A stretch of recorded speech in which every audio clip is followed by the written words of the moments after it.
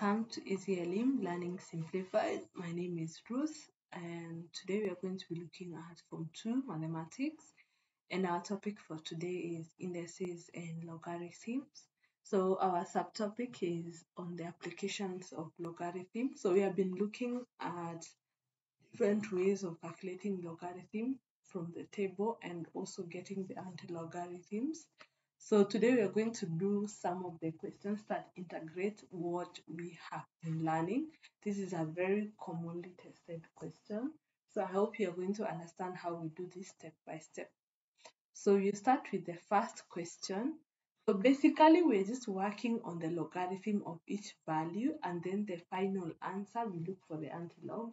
And remember for in the rules of indices, when we have multiplication, it means you're going to add the indices. If we have division, we are going to divide the indices. So let's work this out. So you start with the number. So number, then you write standard form, and then the log. So the number is uh, 3.57 which become not point 3 357 which becomes 3.57 because we move the decimal twice times 10 power 2 so if you look at the logarithm of 3.57 normally how we were looking at the logarithm we go to 3.5 where it is and then we move across to 7 so this is where 7 is, which gives us 0 0.55 to 7. So it is 0 0.5527 and this is we are going to add 2 because we said this is the same as 10 0.5527 times 10 power 2 so our characteristic is positive. So this gives us 2.55 to 7. So we go to the next number, which is 47.9. In standard form, is going to be 4.79 times 10 power 1.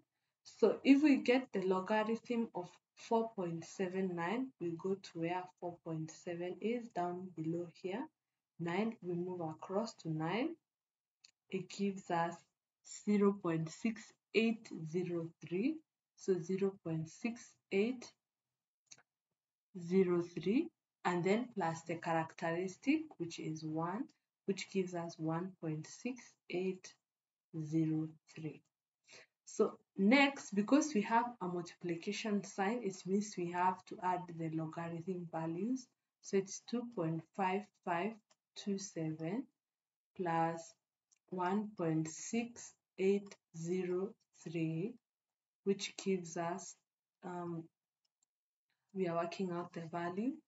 Uh, so 13 and then 12 and then you carry one uh, 4 so it gives us 4.2330 so if we get the antilog we make this into a standard form so this is 10 power 4 times 10 power 0 2330. So we are checking 2330 in the logarithm inside. So it becomes 23. We go up here, 23. It's here. We got it. So it's 10 power 4 times 1.7 if you move across 7 1 so our answer is going to be, so you move two zeros. So it is 171 with two zeros, that is 171,100. So that's how you work out the value, um, especially when you've been told to look for the logarithm of this value. Let's do another question. So we have 456 times 398 times 271. Now we have three values, so we do it again, the number, the standard form, and then the log. So the number is 456. If you do this in standard form, it becomes 4.56 times 10 power 2 and if you check the log of 4.56 so you come to 4.5 and then up to 6 which gives us uh, 0 uh, 0.5 uh, and then plus 2 which is a characteristic which gives us 2.6590 and then the second number is 398 the standard form becomes 3.98 times 10 power 2 as well.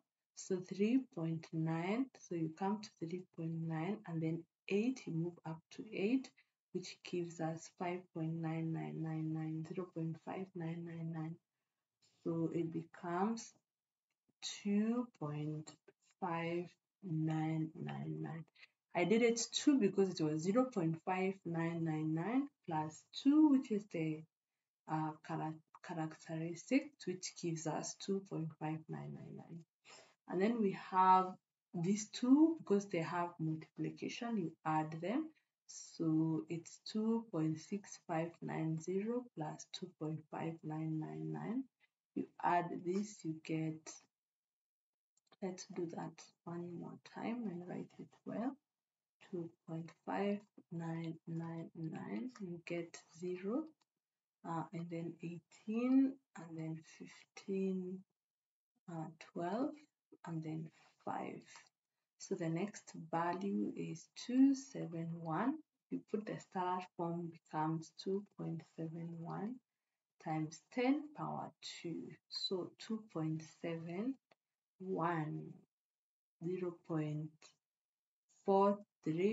0.4330 so if you add the characteristic it becomes 2.4330 so remember there's a division. So if you see division it means subtraction. So it is 5.2580 minus 2.4330 which gives us this value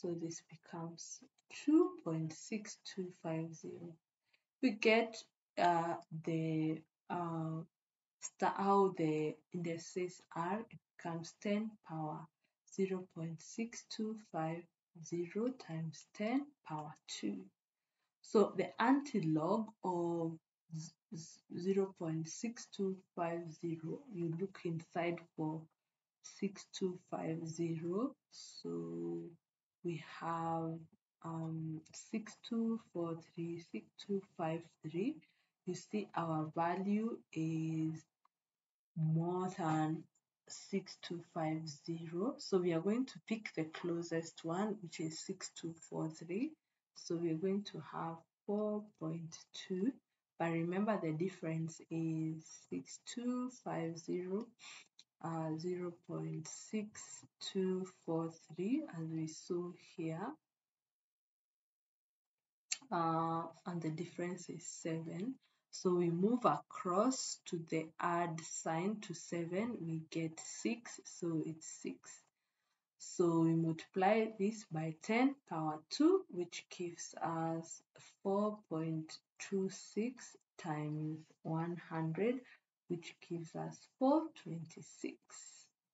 So that's how we look for the um, applications, especially when you have a division question. So let's work out this question in the case where you have a power instead of multiplication. So we have number, standard form, and log. So the number is 4.48. The standard form is just the same. So we get the log of 4.48. We start with 4.4 and then 8 across. We get 0 0.6513. So 0 0.6513. But remember, we have a power of 3. So when that happens, it means you have to multiply everything by 3. So let's do that multiplication. We get 1.9539 and then the second value is 3.16 we look at the log for that so we go to 3.1 and then we move across to 6 which gives us 0 0.4997 and then this is times 2 because of the power. So this will give us 0 0.9994 so these two are subtracted because of the division sign. So 1.9539 minus 0 0.9994 so this gives us 5 and then we carry we carry 1 to get 13 which will give us 4 and then we carry again 11 which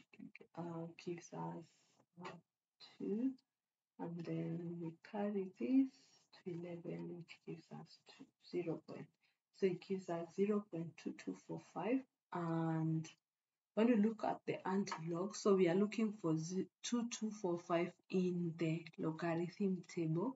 So we go to 22 we have 2201 and 227 so we'll take the 2201 because it's the closest so it is 1.6 and then we'll get the subtraction 0 0.2246 and 0 0.2201 so the difference is 45 so this is 1.66 and the difference goes to uh, so it's going to be 9 because it's the closest.